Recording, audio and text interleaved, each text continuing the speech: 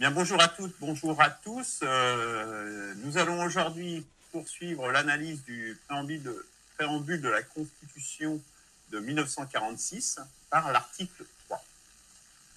Avant cela, je voudrais euh, présenter un nouveau euh, futur membre, déjà membre, postulant pour le cercle du renouvellement constitutionnel, mon voisin d'écran Jean-Charles Aquin, qui a euh, participé euh, euh, à plein de, de mouvements de résistance, et notamment la rédaction du programme de Concorde 17.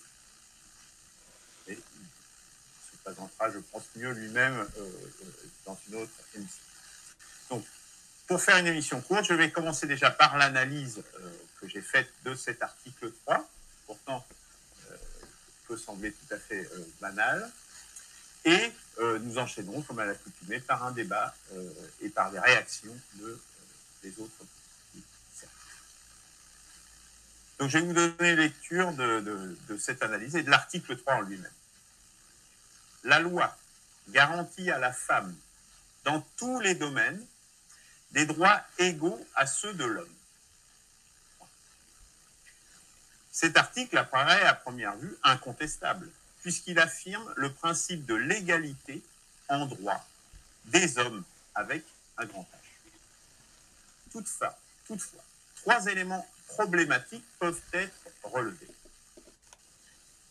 Premièrement, cette réaffirmation est datée, puisqu'elle découle en particulier de l'anomalie constituée par l'absence de droit de vote pour les femmes, droit qui fut finalement accordé aux citoyennes françaises à la libération. Si cette réaffirmation est opportune pour corriger cette anomalie, notons qu'elle est inutile au regard des principes énoncés par l'article 1 de la Déclaration des droits de l'homme et du citoyen de 1780. Deuxième élément, plus gênant. Le principe d'égalité tel qu'énoncé est unidirectionnel, donc inégalitaire, puisque les femmes ont la garantie de droits égaux aux hommes. Mais en contrepoint, dès lors que ce principe est énoncé, apparaît une possibilité que des droits supérieurs soient accordés aux femmes. Ceci violerait donc le principe d'égalité entre les hommes avec un grand H. Compte tenu de ces deux remarques, on appliquera un point de pénalité pour incohérence. Troisième critique plus grave et d'une portée plus générale. Il n'est pas fait de distinction ici entre les femmes et les citoyennes, ni d'ailleurs entre les hommes et les citoyens. Ceci pose donc le principe que les hommes, avec un grand âge, même dépourvus de la citoyenneté française, disposent des mêmes droits en tout domaine. Ceci implique que l'égalité de citoyens est sans valeur si ce principe était appliqué en l'état. Ce n'est sans doute pas la volonté du législateur suprême, puisque dans les faits, la loi française, les lois françaises font cette distinction. Il convient donc de différencier de manière claire et précise les notions de citoyen, de résident, d'homme, le premier étant notamment la nationalité française disposant des droits civils, le deuxième concernant les résidents réguliers sur les territoires, et enfin, le dernier, la communauté mondiale des hommes avec un, grand H, donc quel que soit leur sexe, bien entendu. De plus, aucune distinction entre hommes et femmes, avec un petit f, n'est opérée. Ceci serait utile notamment pour les éventuelles législations ne s'appliquant qu'à un seul des deux sexes, notamment car, notamment car n'ayant de sens que pour l'un des deux sexes. On pense ici par exemple à l'avortement. On appliqua donc un second point de pénalité à cet article 3 pour imprécision sur les notions mises. Voilà euh, l'analyse que j'ai faite de l'article 3. Je propose que nous en débattions désormais. Merci euh, Luc pour ta présentation euh, critique et je propose que Christian peut-être prenne le premier tour de, parole si tu veux bien. Merci Luc pour cette présentation succincte d'un article qui lui-même est succinct.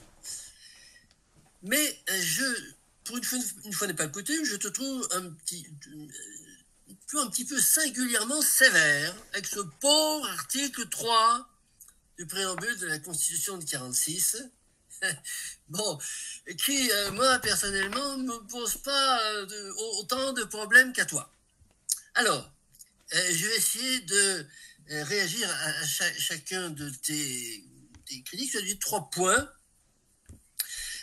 tu as dit, tu as parlé du droit de vote des femmes. Bon, en 46, lorsque le préambule a été, a été écrit et qu'il est bon, euh, les femmes, les femmes n'avaient, n'avaient, enfin, pas encore le droit de vote, c'est-à-dire que ça a permis de leur donner le, droit de vote. Oui, bon, bah, euh, c'est plutôt bien. Ben, bref. Deuxièmement, euh, alors là, là, je trouve que c'est, je c'est un petit peu, enfin, un petit peu poussé de dire que la formulation de cet article permet d'imaginer qu'on puisse avoir, pourquoi pas, un droit des femmes supérieur à celui, des hommes. Bon, euh, euh, il, me semble que c'est de la surinterprétation, là, quand même. Voilà, mon point de vue. Ensuite, euh, tu dis, on parle d'hommes, on parle de citoyens, euh, enfin on parle d'hommes et de femmes, mais euh, sont les citoyens? Les citoyens, est-ce que c'est ce que c'est un homme, est-ce que c'est une femme, est-ce que c'est un résident? Alors, Effectivement, là où je suis tout à fait d'accord avec toi, c'est la nécessité qu'il y a, qu'il va y avoir, qui bon, a jamais été prise vraiment bien en compte, de définir réellement ce que c'est qu'un citoyen, de réellement définir ce que c'est qu'un homme et une femme, et puis, et puis un résident. Bon, c'est une, euh, c'est un domaine qu'on a souvent effleuré, mais qu'il va falloir creuser. Ça, je suis tout à fait d'accord avec toi. Mais je n'en tire pas, pour ce qui concerne l'article 3, la même conclusion que toi, ça va à savoir lui donner une, une pénalité. Euh, je relèverai simplement euh, une chose c'est la comparaison de cet article 3 du préambule de la Constitution de 1946 avec la Déclaration des droits de l'homme et des citoyens de 1789, qui ne parle que de citoyens. Il ne parle pas d'hommes et de femmes. Bon. Et il ne parle pas de citoyennes.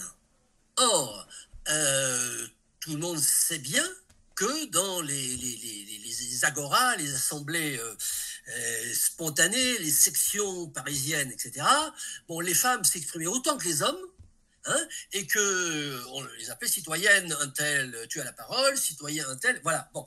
Or, euh, il faut quand même remarquer une chose qui n'est pas souvent citée, alors je, suis là aujourd'hui pour essayer de, rétablir euh, cet oubli historique, et que euh, cette appellation de citoyenne, qui a été quand même constitutive de beaucoup de choses pendant cette période de, de 4 ans, entre 89 et 93-94, eh bien, on ne, la, retrouve pas dans la DDHC. Et du coup, euh, on pourrait très bien, bon, si je voulais ergoter aussi de façon aussi rigoureuse que, Luc, euh, je dirais que euh, tout ce qui vient après bon, est, contraire à la Constitution de 1789. Et notamment, lorsque le préambule de 46 dit que les femmes ont les mêmes droits que les hommes, de ce point de vue, il contredit la DDHC qui, elle, ne parle que de citoyens au masculin, donc il ne parle que des hommes. D'autant plus que euh, les femmes n'avaient pas le droit de vote et n'ont pas eu le droit de vote. et voilà, mais même en la révolution de 48, elles n'ont pas eu le droit de vote et, et voilà. Donc ces femmes qui s'exprimaient dans les sections n'avaient pas le droit de vote et c'est pour ça probablement qu'on n'en a pas parlé dans la DDHC. donc la Constitution de 46, elle contredit la DDHC. Alors, puisque euh, on applique des points de pénalité, moi, j'appliquerai un, point euh, de pénalité pour incohérence, on dit qu'il y avait, il y avait la, la non-précision, la non-clarté, et puis l'incohérence qui peut être interne ou externe. Là, il s'agit d'une incohérence externe, puisque cet article qui fait partie du bloc constitutionnel, on peut imaginer que le bloc constitutionnel soit cohérent entre tous les articles du bloc entre eux. Or, là, on a cet article 3 de la euh, du préambule qui est contradictoire avec euh, le premier article, notamment, euh, et tous les articles suivants d'être détachés qui parlent de citoyens et pas de citoyens. Voilà ce que j'avais à dire. Parfait, Christian. Merci beaucoup.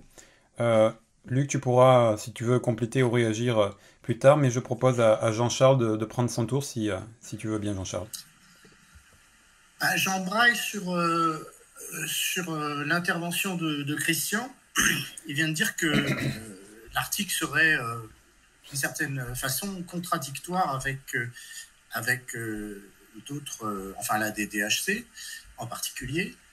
Euh, alors que euh, d'un autre côté, euh, Luc a parlé du fait que cet article 3 serait inutile d'une certaine façon.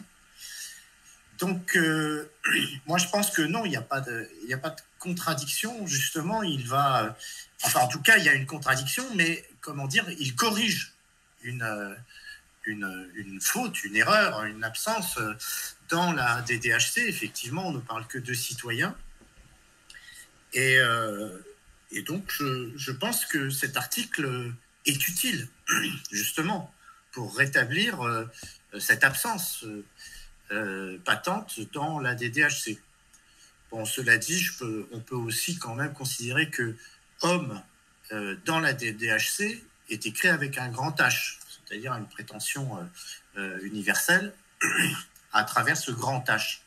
Donc on peut imaginer qu'à la suite, et pour ne pas alourdir la, rédaction, euh, euh, on n'est parlé que de citoyens, mais euh, effectivement, souvent, quand on lit la, DDHC et même d'autres articles dans d'autres, dans d'autres écrits, il manque des précisions, un glossaire, comme souvent parle Guillaume, sur, sur les, les mots utilisés. Donc, si on considère que citoyen englobé au même titre avec le H, le grand H de homme, englobé les citoyennes, à ce moment-là, la contradiction n'existe plus. Si citoyen n'était que les citoyens et non pas les citoyennes, effectivement, là, il y a une contradiction et euh, l'article cesse d'être inutile. Euh, voilà, ça c'est une, première chose. Ensuite, euh, va se poser, et on vit en notre temps, et je pense que tous les écrits ont été rédigés dans un temps donné. En notre temps, on voit émerger la question du genre, et là on est en plein dedans. Donc il faut se rendre compte qu'actuellement, dans notre société, est contesté euh, la seule définition des individus à travers euh, leurs conditions d'homme et de femme. Donc effectivement, on, est toujours plus qu'un homme ou plus qu'une femme, mais disons que euh, beaucoup de gens veulent introduire d'une certaine façon la présence d'autres d'autres valeurs de genre, je ne sais pas comment dire, mais ce faisant, euh, détruisent d'une certaine façon euh, la notion de genre, ou en tout cas l'exacerbe à un point euh, de détail, faisant introduire des, minorités qui déstabilisent souvent le point de vue qu'on peut avoir sur différents sujets tels que l'avortement, la maternité, l'enfantement, l'éducation, etc. donc il faut peut-être je ne sais pas, mais je ne sais pas si c'est le lieu euh, dans, une, dans un préambule, mais au moins codiciller la, la question. Parce que, euh, non pas que je sois, je suis pas du tout adepte de la résurgence, enfin de la prééminence, de la mise en avant outrancière des minorités euh, de genre actuellement. J'y suis assez rebelle, mais pour autant, elles existent. Donc peut-être que euh, la notion, euh, enfin, comme je dis, euh, mettre un codicile particulier pour situer hommes et femmes au regard des, mouvements de la société actuelle pourrait être envisageable. Je vais m'arrêter là, je pense qu'on va peut-être explorer cette direction.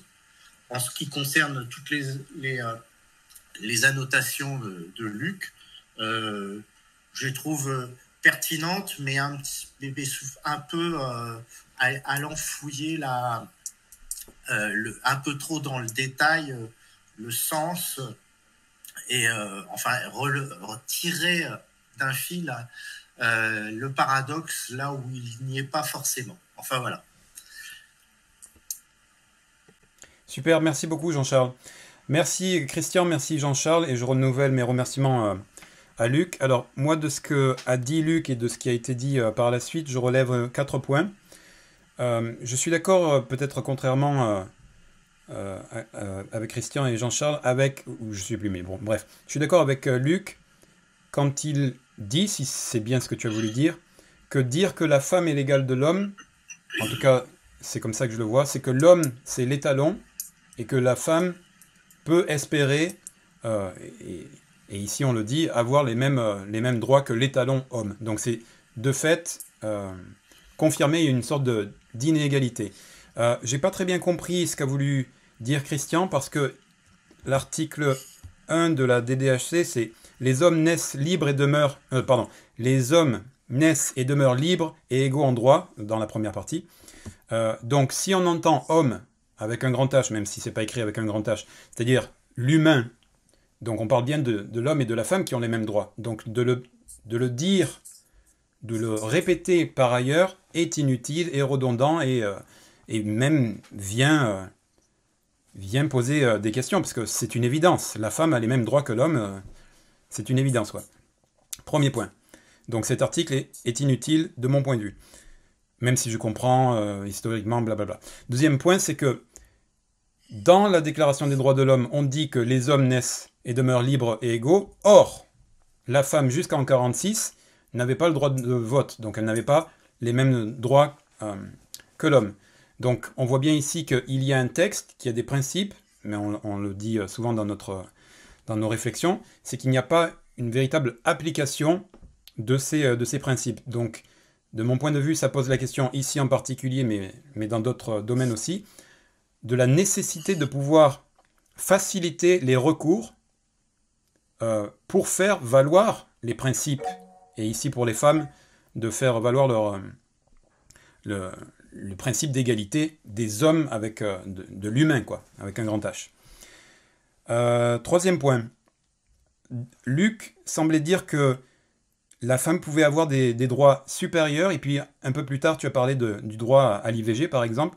Alors moi, je pense qu'il n'y a pas nécessairement une voie par cet article 3 qui ouvre a des droits supérieurs à la femme, mais on peut en discuter, mais peut-être, et là tu as raison, des droits spécifiques. Donc le genre, pour en rester pour l'instant sur une définition classique, après euh, on pourra éventuellement étendre, mais euh, le genre peut-être homme-femme va donner peut-être certains droits euh, spécifiques et pas nécessairement supérieurs.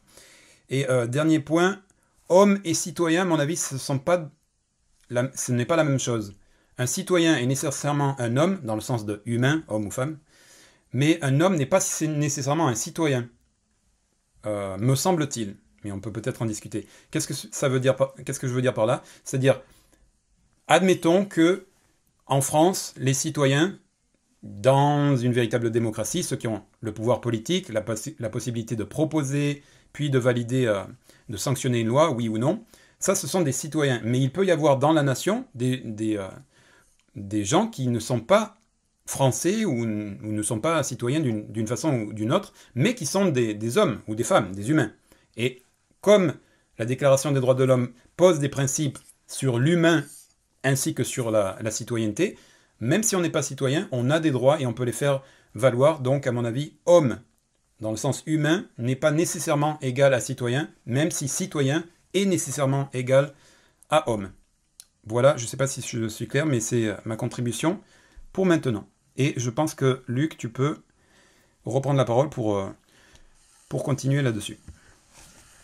Euh, excusez-moi, mais je voulais ajouter quelque chose euh, à mon intervention.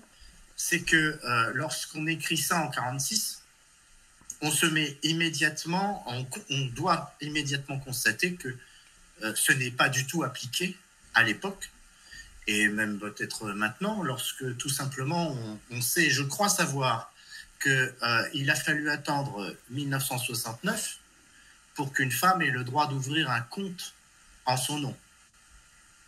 Voilà, je crois que c'est en 1969.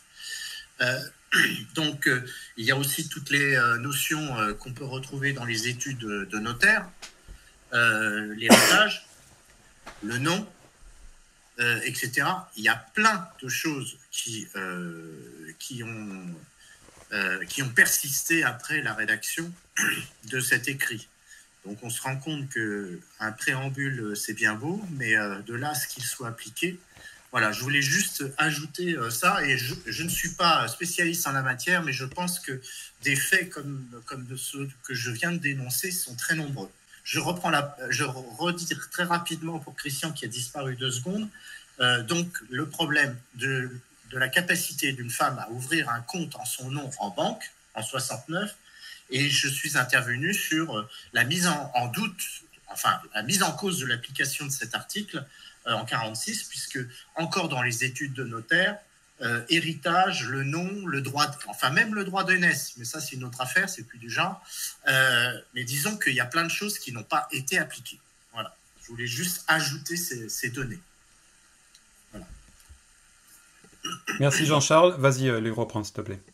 Merci Jean-Charles. Merci à, tous les trois de, vos réactions. Bah, je crois qu'on va commencer sur quoi nous sommes, euh, nous convergeons. Et globalement, je pense que nous convergeons sur ce que tu viens de dire, Jean-Charles, sur le fait que les principes qui sont énoncés dans un préambule, ça ne suffit pas à ce qu'ils rentrent en pratique.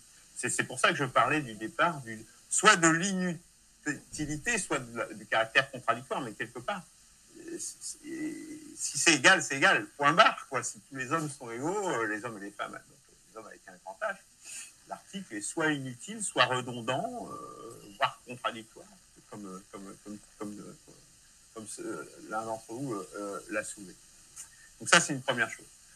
deuxième chose, mais ça on l'a déjà dit sur, sur plein, à, de multiples reprises, mais ça c'est une prescription forte justement pour que le préambule devienne euh, prescripteur, euh, je dirais, euh, dans une constitution future et que ce soit vraiment quelque chose de normatif. Ça, c'est, et non subsidiaire comme des déclarations un petit peu temporelles ou indicatives. Ça, c'est, vraiment un. Ça revient très souvent dans, dans nos travaux. Deuxième point, c'est la nécessité d'un glossaire.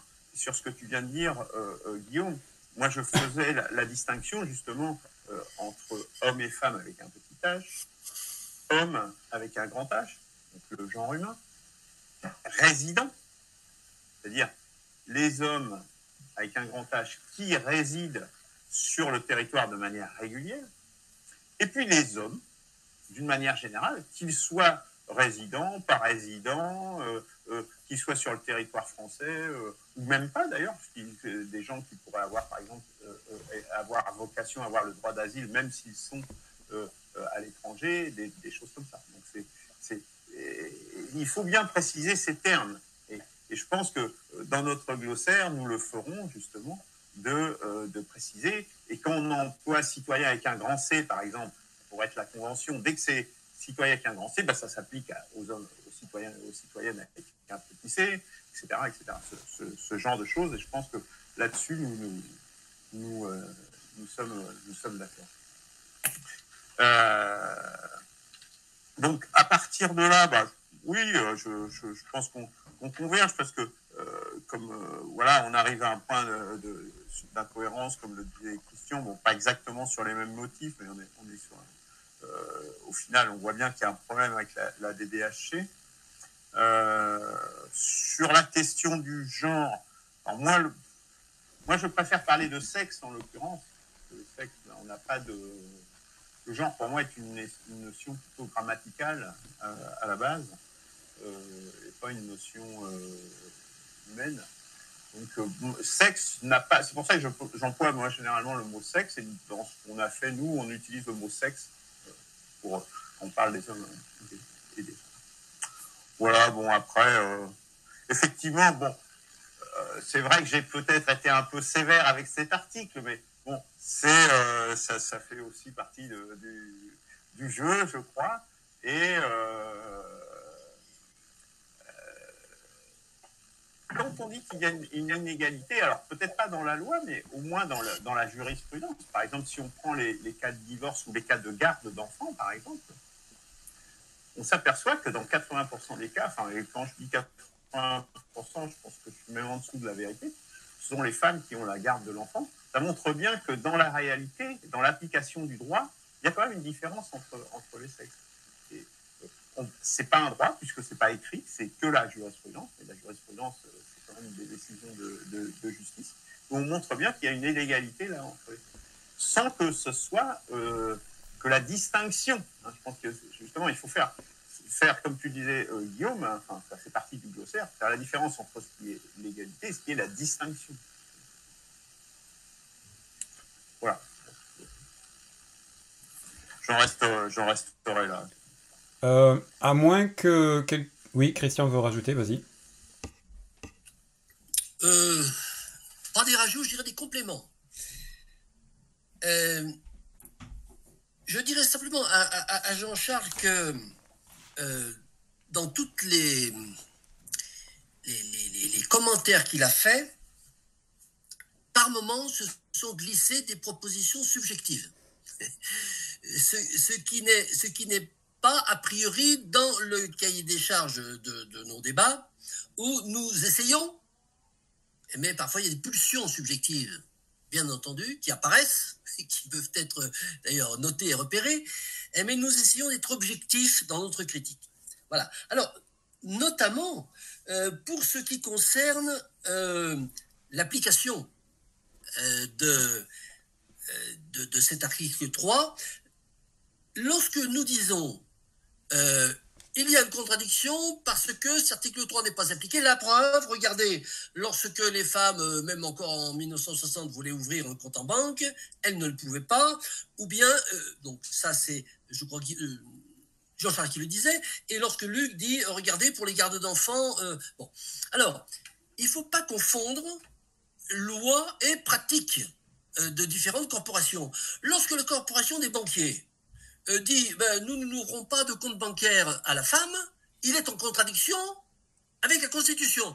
Donc, mais s'il n'y a pas euh, de, euh, de, plainte, s'il n'y a pas un citoyen, un groupement de citoyens qui va saisir le tribunal administratif ou, ou le, Conseil d'État pour dire mais attendez, ce que fait le banquier est illégal, évidemment ça passe. Ça ne veut pas dire que la Constitution n'est pas appliquée. Vous voyez la différence? La Constitution serait incohérente s'il y avait une loi dans le corpus législatif, c'est-à-dire dans l'un des 74 codes juridiques, qui disent que la femme n'a pas le droit d'ouvrir un compte bancaire. Or, ce n'est pas, c'est une profession, c'est une corporation qui a décidé d'appliquer ça. De même, euh, l'exemple de Luc pour la garde d'enfants, euh, euh, lorsque un, homme, un, homme de sexe masculin, jugerait que la garde d'enfants a été donnée à son ex-épouse, euh, en contradiction avec ce qui est dit dans le préambule de la Constitution de 46 ayant force de, loi constitutionnelle, bon, il pourrait saisir un tribunal sur la base de cet article de la Constitution. Voilà, ça, c'est ça la nuance strictement juridique de l'affaire. Ensuite, lorsque nous disons... Excuse-moi de t'interrompre, c'est pour ça que je parlais de jurisprudence et pas de loi. Hein. J'ai bien précisé, j'ai bien fait le distinguo. Nous sommes d'accord, il n'y a pas de loi qui contredit l'article 3 de la Constitution de 46. Nous sommes d'accord. Euh, et lorsque nous disons que, euh, je crois que c'est Jean-Jacques qui l'a dit, que en fait, euh, cet article, cet article 3 du préambule de 46 corrige la DDHC. Oulala, attention. Là, on a vraiment un terrain glissant. S'il corrige la DDHC, il faut corriger la DDHC. la DDHC fait partie de la Constitution, elle peut être corrigée. Et si, euh, effectivement, il y a aujourd'hui une incohérence entre deux textes constitutionnels, incohérence euh, évidente, hein, ben, il faut corriger l'un des deux. Donc là, il y a un travail, nous nous, nous alertons le législateur pour dire qu'il y a un travail à faire, il y a une incohérence. Et puis, euh, donc, euh, euh, pour, appuyer un petit peu plus cette façon de voir les choses, et je répondrai à Guillaume lorsqu'il dit que dans la DDH, on ne, parle pas de l'homme, de la femme, on parle de l'homme on parle de l'homme avec un petit H, on parle de l'homme et du citoyen. Si tu regardes bien différents articles, de temps en temps, il y a homme, de temps en temps, un citoyen. Il n'y a jamais femme, il n'y a jamais citoyenne. Bon. Et la, preuve historique est donnée, c'est qu'il n'y a jamais eu vote des femmes hein, euh, depuis 1189 jusqu'à jusqu'à jusqu'à jusqu'à 46. Bon, voilà. Donc, ça veut bien dire, en tout cas, on ne sait pas ce que ça veut dire. Nous, on constate, on est objectif. L'objectivité, c'est que la DDHG parle d'hommes, elle ne parle pas de femmes. La DDHG parle de citoyens, pas de citoyennes. Et que les femmes du sexe féminin, les homo sapiens de sexe féminin, n'ont jamais eu le droit de vote. Donc, il y a un réel problème de texte. Et euh, si effectivement il y en a un qui corrige l'autre, ben, il faut corriger celui qui est corrigé. Merci euh, beaucoup Christian pour, pour ces prolongements. Alors, tu, me, tu appelles des réactions de ma part. Sur le compte en banque, sur, l'histoire du compte en banque et de la garde d'enfants, je pense que c'est différent. une conclusion alors du coup, Guillaume. Ah pardon, c'est moi qui fais la conclusion? Parce qu'on va, on va, on va, ouais, je pense qu'on va arriver au bout. Ah ok. Bon ben, désolé mais bon. Euh, à mon avis, l'histoire du compte en banque et de la garde d'enfants, c'est pas égal. Je laisse de côté pour l'instant l'histoire de la garde d'enfants parce que c'est un peu culturel, etc., euh, etc. Enfin, je rentre pas dans ce débat-là. Par contre, le compte en banque, dans l'organisation euh, de la société telle qu'elle existe, c'est-à-dire monétaire, etc., pour être indépendant, tu as besoin d'un compte en banque. Si tu veux, si tu veux avoir un, percevoir un salaire, il te faut un compte en banque. Si tu veux faire telle et telle démarche, il te faut un compte en banque. Donc, le compte en banque est consubstantiel à ta liberté, d'accord? Et la liberté, c'est un droit, c'est un, c'est un principe premier dans la Déclaration euh, des droits de l'homme, etc. Donc, le, compte en banque est inégal au fait de, la garde d'enfants. Ça, c'est pas au même niveau. Et si tu ne peux pas, ou si une corporation peut se permettre de t'interdire d'ouvrir un, compte en banque, de fait, elle entrave ta liberté. Euh, et de mon point de vue, la problématique est que effectivement le citoyen pourrait dire, ou la citoyenne en l'occurrence pourrait dire, eh mais ça, euh, ça va à l'encontre du principe énoncé dans la, dans la Déclaration des droits de l'homme.